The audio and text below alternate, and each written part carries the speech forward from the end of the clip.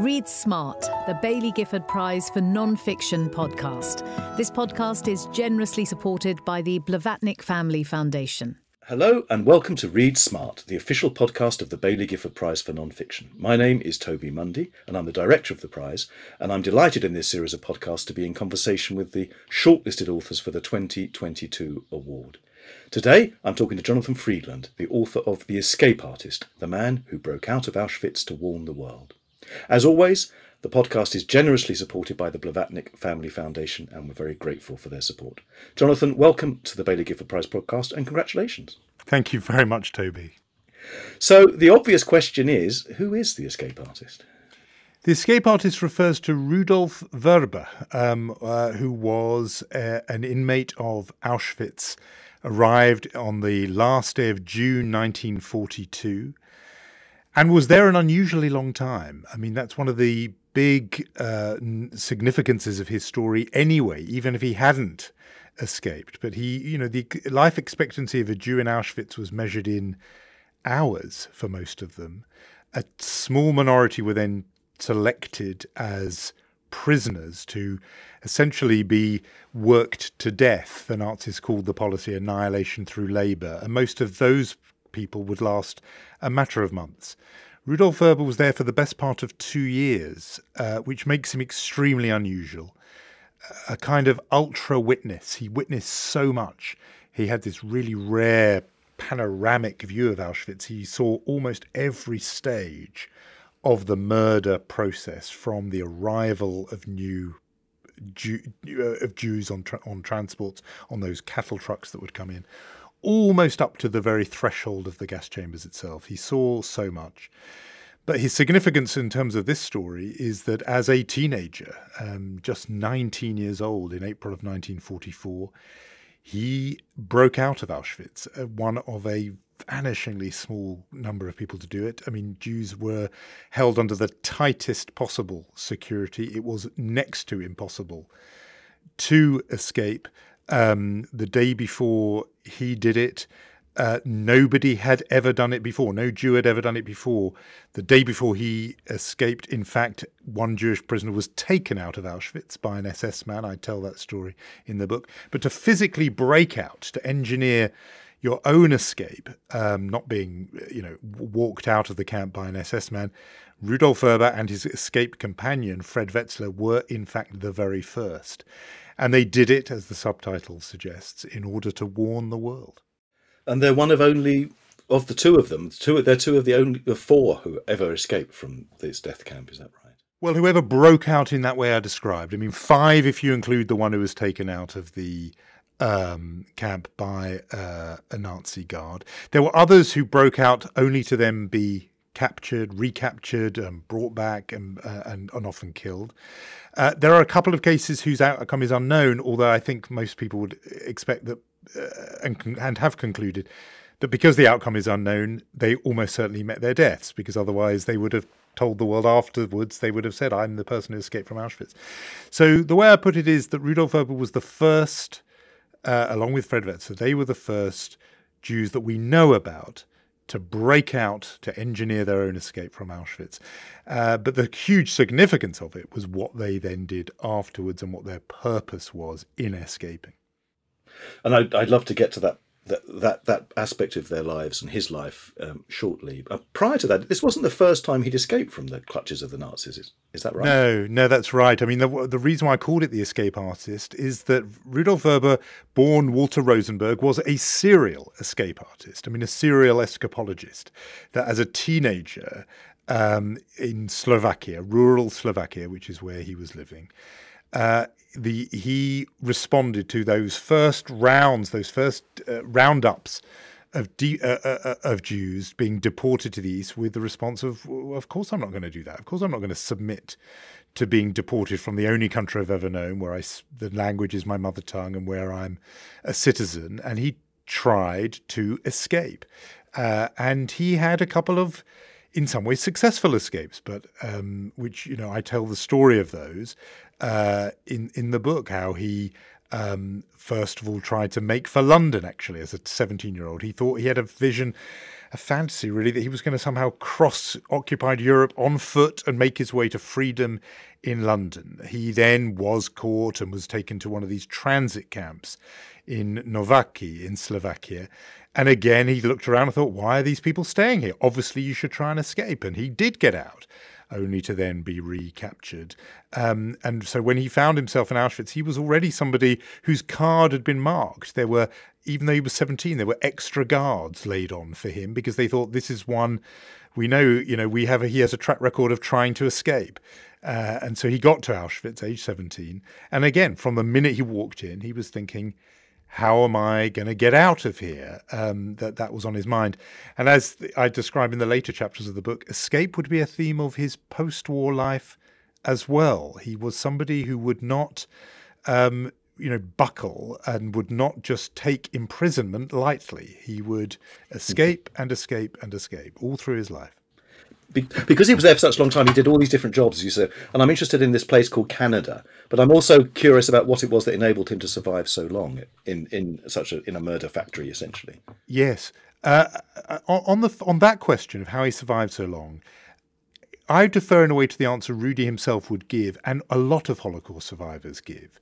And I've interviewed quite a few of them over the years, and what almost always they say, luck they say it was random good fortune that enabled them to survive. And it's important to them, this, because they do not want to claim any kind of personal quality, because that would then imply those who did not survive were somehow lacking. And they weren't. They were physically brave, physically strong, ingenious, talented people who never survived. And it was no fault of theirs that they didn't survive. It was often arbitrary capricious, random acts of uh, uh, of good fortune that kept people like Vrba alive. And I describe several of them in the book moments where he has the narrowest possible escapes, just the Amazing. whim. I yeah. mean that that's right. The whim of a guard or a or, or an SS man who has a moment of, uh, of an impulse to shoot somebody and just shoots the person inches to the left or right of of, of, of Rudy. And so you, he was very clear that there was no credit that, to, that he sought. All of that said, it did not hurt that he was physically strong, that he had many, many languages. By the time he arrives as a 17 year old, he's speaking obviously Slovak and Czech and Yiddish, but also German, also Russian, also some Hungarian. That meant he was adept at moving around the camp. It meant he was an asset to the Auschwitz underground, the Auschwitz resistance. Again, this was you know new to me, and I think it will be to a lot of people reading this book that there was an underground inside Auschwitz, a resistance. Um, he had he had those, and he was physically sort of uh, uh, uh robust, but also he had great ingenuity. He was clever, and that really helped. Um, but uh, you know, all of those would have been for nothing had he not been um, also blessed by good fortune. In terms of, which is an odd thing to talk about in a in a place of such horror, but there we are. In terms of the uh, Canada you mentioned, and, yes. and, how he was stationed in all these places um, as a prisoner, as a slave. Uh, it's crucial to mention that there was no freedom there, but you were assigned work, and sometimes right at the beginning it was just physical, back-breaking work, building building factories that the Nazis were, in effect, lending out for free to the big German conglomerates of the time who saw a way to turn a huge profit building up these big uh, industrial plant factories where they would never have to pay a penny or only a few pennies in labour costs. But one of his first long jobs, long term jobs, was in a place the prisoners themselves nicknamed Canada with a K.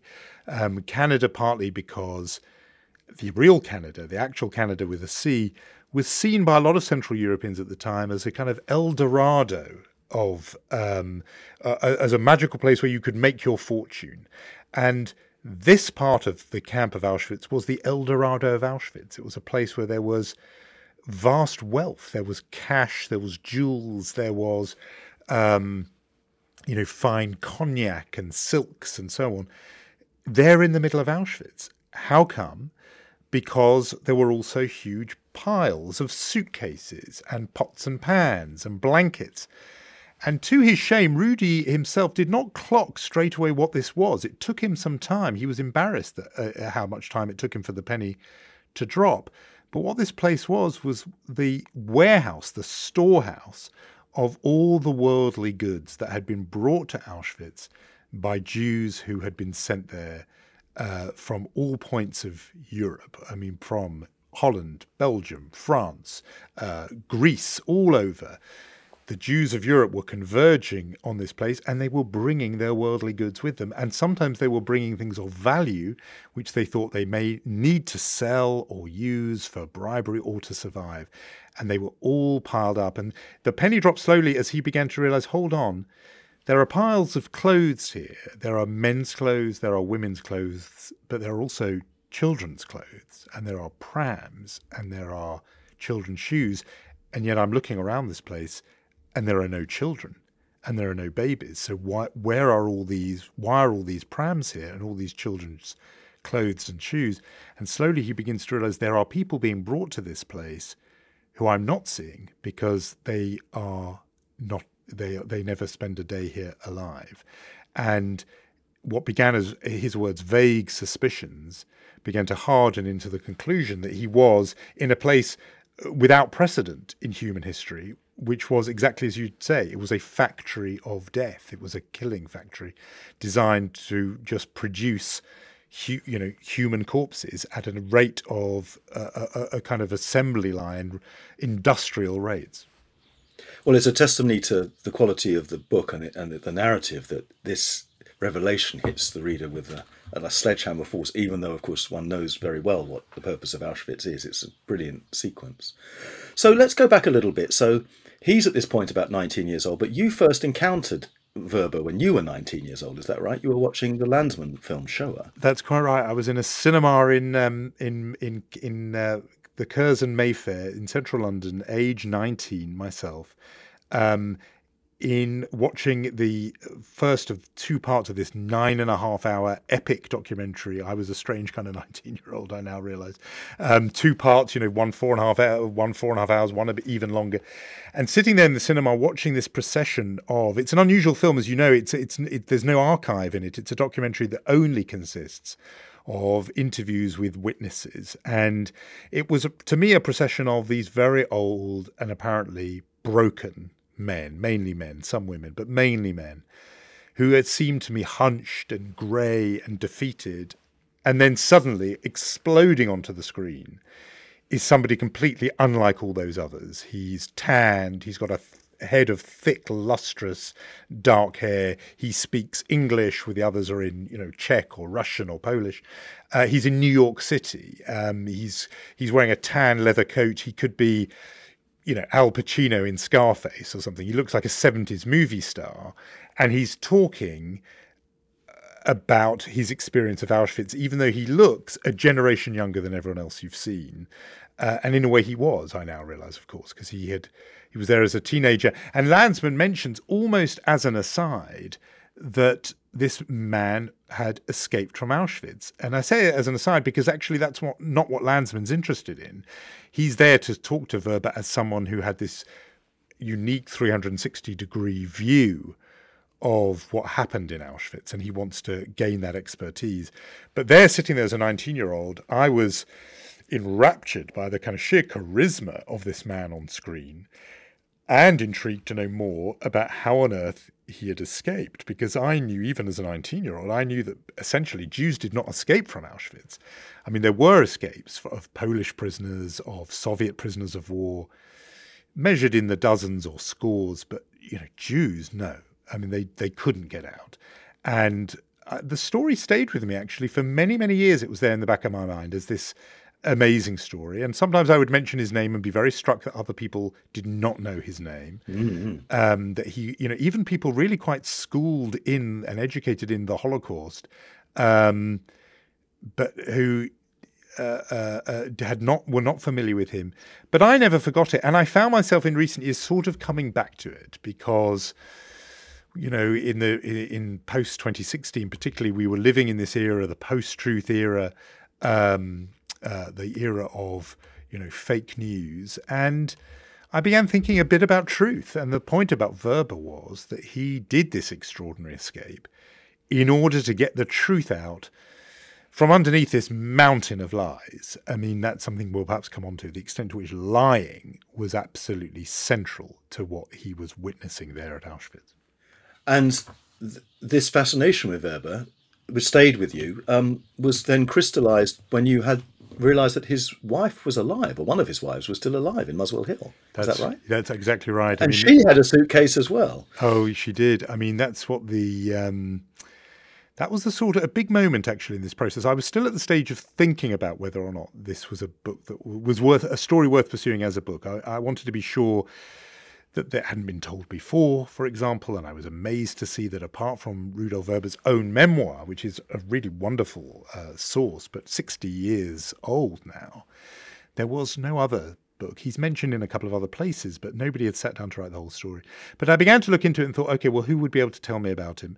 And actually both of the women who are married to him are, you know, at that stage were still alive because his widow, his second wife, Robin Vrba, is still alive and lives in the United States and was a wonderful uh, source and interviewee and, and, guide for this book. And we spoke, you know, for many, many hours. But I also did know that he had been married to uh, a, a, previous time, and his wife was called Gerta Vrbová, and she had lived at some point, I knew, in London. Uh, I knew she'd been an academic at University College London. That's all I really knew. I knew also that she would be 93 years old by then. And I thought the chances were pretty slim that I would be able to track her down. But I did that classic journalist thing, which sometimes we do, where you essentially make up an email address, you know, first name dot last name at UCL. And I thought, you know, I'll try it and see what happens. And, you know, that it's very likely that this is going to bounce back to me, uh, you know, mail undeliverable kind of thing. But it didn't. And instead, half an hour later, instead of a message coming from a, a colleague or even what I was slightly worried about, truthfully, was a bereaved son or daughter saying, I'm afraid, you know. Instead, I got this email back saying, Dear Jonathan, I am very glad to hear from you. I am living in Muswell Hill, about 20 minutes away from where you are. Why don't you come and see me? And this was in the COVID summer of 2020. And we sat in her garden. We both sat, it was very warm. We sat in, in deck chairs in her garden, socially distanced. Uh, and I put, had my you know recording device on the ground, which I nudged towards her with my foot because I didn't get too dare go too near, and and you know heaven forbid get, you know let her catch anything from me. And we talked for many many hours. And the reason why she was so significant was that she wasn't just his first wife, married to Rudy in post war, then communist Czechoslovakia. She had also been his childhood sweetheart and had known the young Walter Rosenberg, as was, as if when he was 14 and she was 12. So she was able to tell me something so important, which was the boy before the man before Auschwitz. She was able to give me the, a sense of the person he already, he had been before he went through the horrors of Auschwitz. And that was a, a tremendously valuable insight. But the, the sort of crowning moment of it came, I think, in our second last visit when she said, um, I have something for you. And her grandson was there. She said, It's upstairs, and I'm, I'm too weak to be able to get it myself. And he went upstairs and he came back down holding this red suitcase. And she held onto it as he did, and the two of them handed it over to me. And she said, I want you to have these. These are Rudy's letters and it was a suitcase packed with his handwritten letters, photographs as well. And that was the moment where I thought, you know, I'm somehow sort of meant to write this book. Um, that this this moment of oh, trust, amazing. and those letters were extraordinary. He wrote handwritten letters to his daughters. One of them, you know, 42 pages long. I mean, there was so much of his himself there, pouring out the personality, which you don't get actually in a memoir that had been, you know, ghost written with a brilliant Fleet Street journalist or um, in, in in lectures or interview transcripts, all of which were wonderful sources, by the way. And he, you know, he was often a witness in in in trials um, uh, of war criminals after the war, and and he was on the stand, and those court transcripts were useful. But actually, having the handwritten letters added a whole other layer to my understanding of him. Um, before we get into the sort of his after after what happened to him after the escape, how did he become? What what what happened to Walter Rosenberg? Where did Rosenberg go? Well, how, come, yeah, how did Vrba supersede Rosenberg? Yes, I mean, the, well, the two of them, we, we you know, we'll, we'll, perhaps get to this on the on the escape. But after they had escaped, they were wanted men. um, even though Vrba was still a teenager, he was wanted and reproduced in the book is the cable from the SS distributed to Gestapo stations, police stations all round Nazi occupied occupied Europe, you know, to the furthest reaches of the empire. Every Gestapo station would have had this on the pinboard there with his name on it, wanted, uh, you know, Alfred Wetzler and Walter Rosenberg, wanted for as fugitives for having escaped from Auschwitz. And uh, he was therefore a man on the run and in hiding. And so he was issued after his escape with false Aryan papers and given a new identity. And that, that the name of this new identity, identity was Rudolf Vrba, an impeccably Czech name. In fact, there was a Czech nationalist, an anti Semite, two or three generations earlier, by that very name. And what was interesting is uh, when the war was over, Fred Wetzler immediately dropped his code, you know, new false name and went back to being uh, Alfred Wetzler. But Rudy liked and embraced his new identity. I think he liked the fresh start it represented. And I think on some level, it was all part of this escapology. He was escaping even himself in some way, even his own first name. so the, I'm not giving away any secrets to say that the book opens in intensely dramatic fashion with Fred and uh, Walter hiding and trying in, within for three days to escape from Auschwitz. It's an astonishing, gripping opening sequence to the to the book, and then suddenly in Easter '44 they're out they're out. what do they do next, and how do they? How does the the the, the Vrba uh, Wetzler report come into being? And Yes, well, no, good. Thank you for, for not exactly giving the details of the of how they escape, because I, I I'm very keen that people read the book, and I always try to hold that back if I can.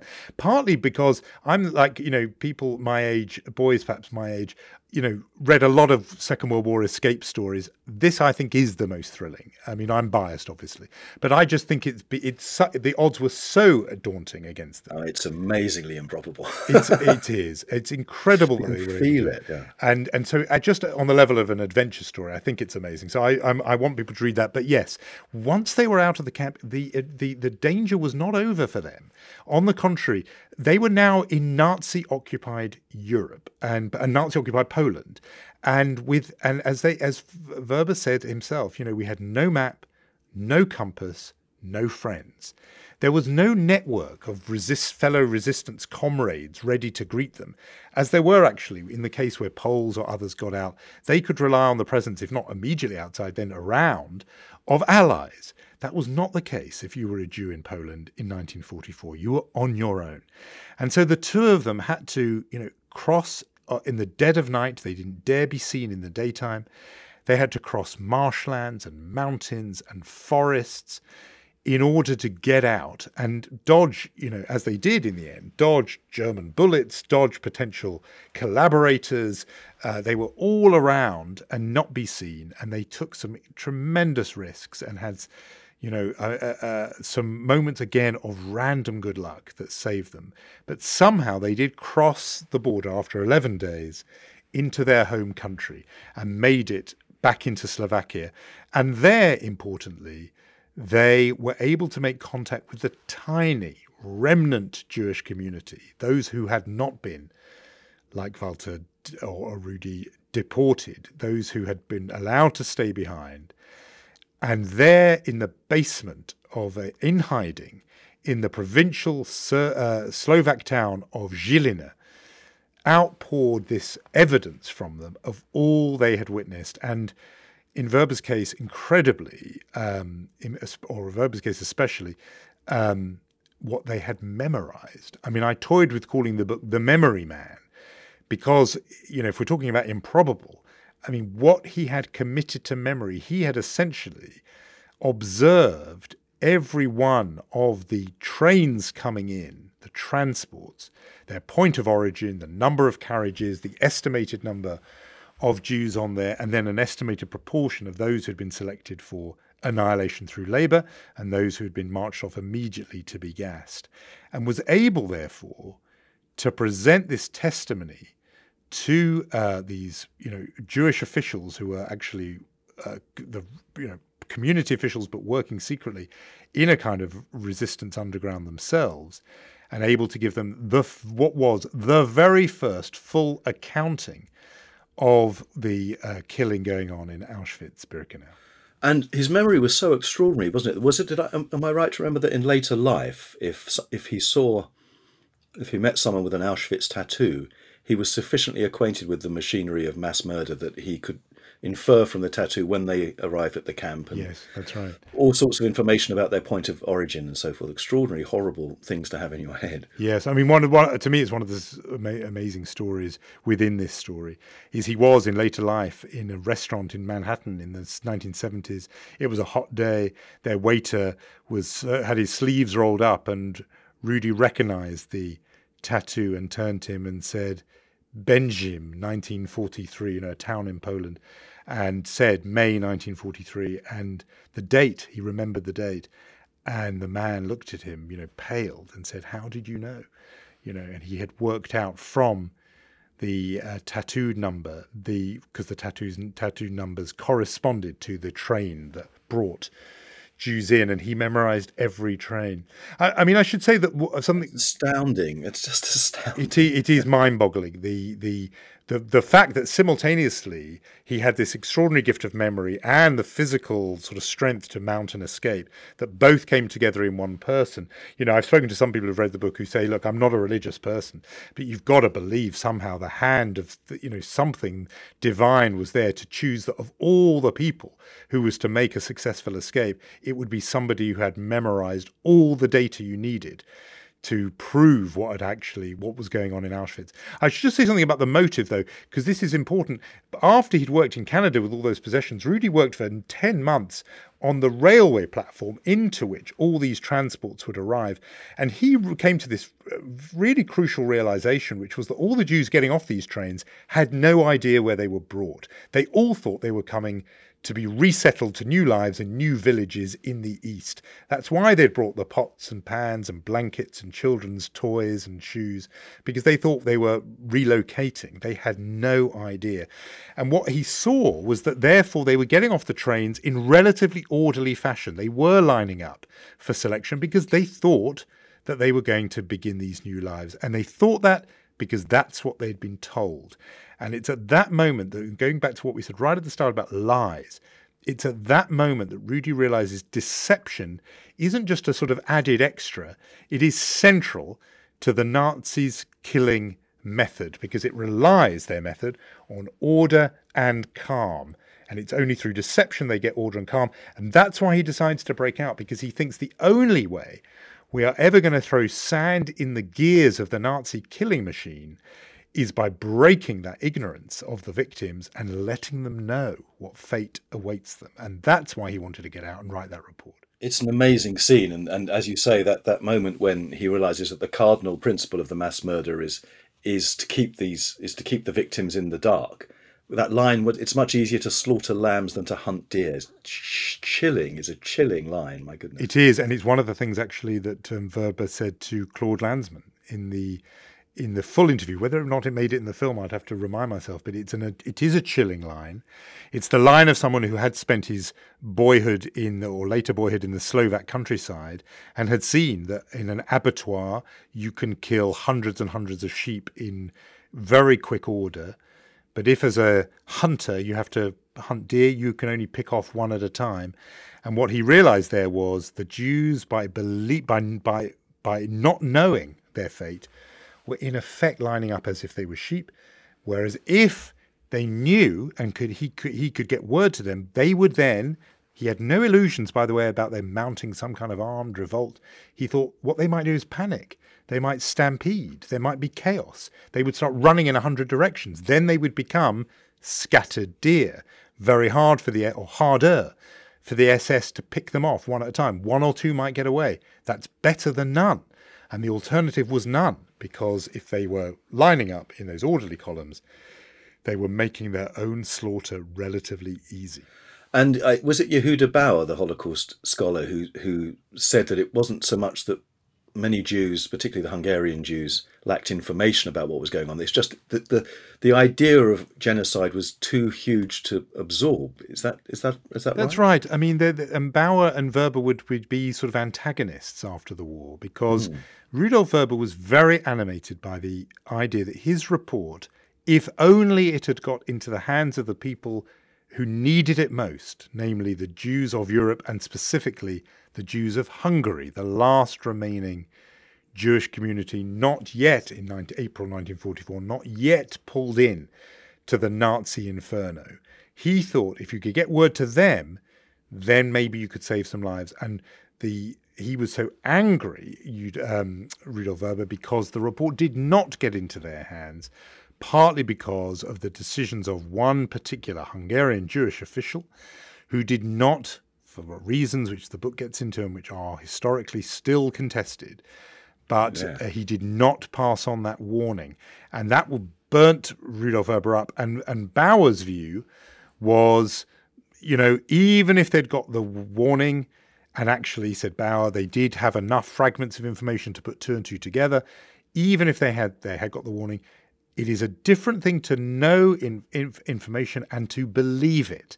And those there are two different sort of cognitive stages, and I, I think that what, this story, I hope the escape artist uh, throws open a really interesting philosophical question in a way about what counts as knowledge. What do we actually, what do we think we know, and is belief a really central part of knowledge? It's not just enough for you to know that two plus two equals four. You have to, on some level, believe that two plus two is four, and they are ever so slightly different things. Um, and so he, Rudy, was obsessed about the information. Others have said the problem was this was unbelievable that there was such a place in the heart of Europe, that Germany, the most civilized nation in Europe, would have constructed a thing that was unknown in human history up to that point, namely a site for the deliberate mass killing of human beings. Such a thing was at that stage new and therefore unimaginable, and because unimaginable, unknowable.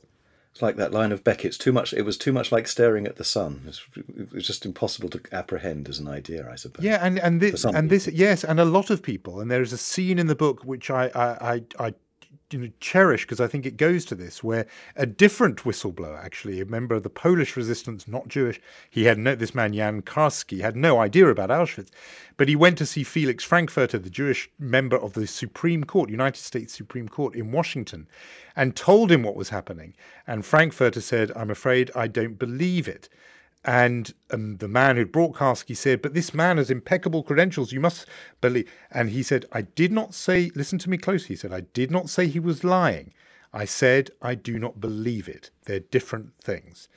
And that is the problem that Rudolf Vrba ran into, which was that people could not believe what they were being told. And I think there's some warnings there for our own time where we are warned often of looming catastrophe and we can know all the facts and all the science.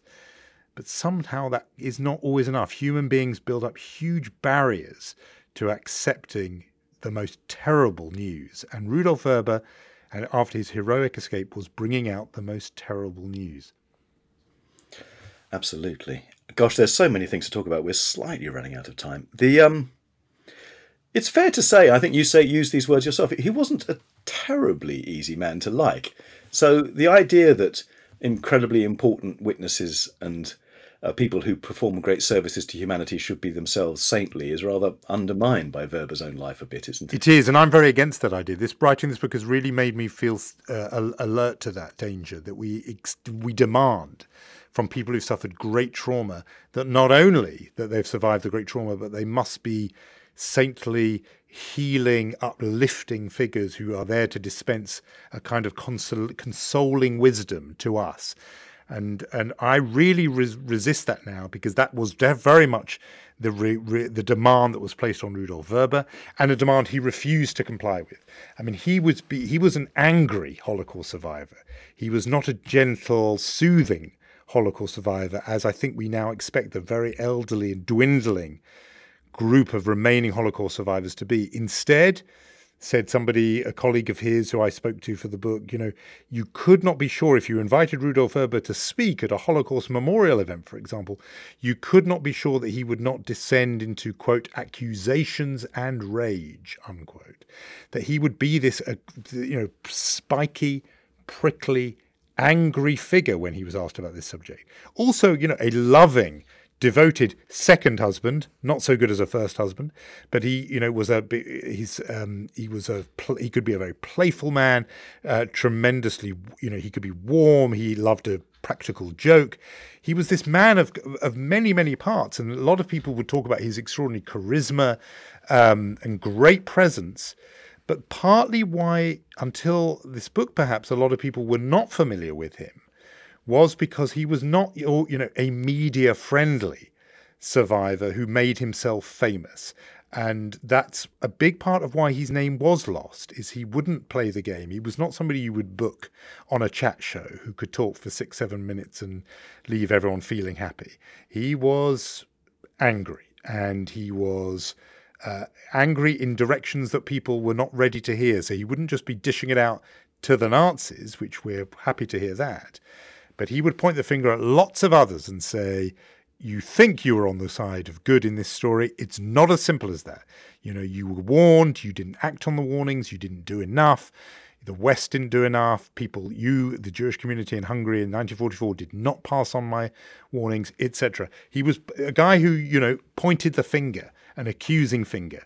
And that's not what people wanted to hear. And slowly and steadily, I think uh, he was written out of the story in which he was actually and had played a towering role. He is a towering figure in the Holocaust. Last thing to say on it, it is through the Vrba-Wetzler report that I and I sketch out how through a series of diplomatic moves, 200,000 Hungarian Jewish lives were saved. The Jewish surviving Jews of Budapest, I believe, were saved by the report that Rudolf Vrba and Fred Wetzler wrote. It means he's a giant of this period, a towering figure who should stand alongside Anne Frank, Primo Levi, Oskar Schindler, you name them, as one of the defining figures of the period.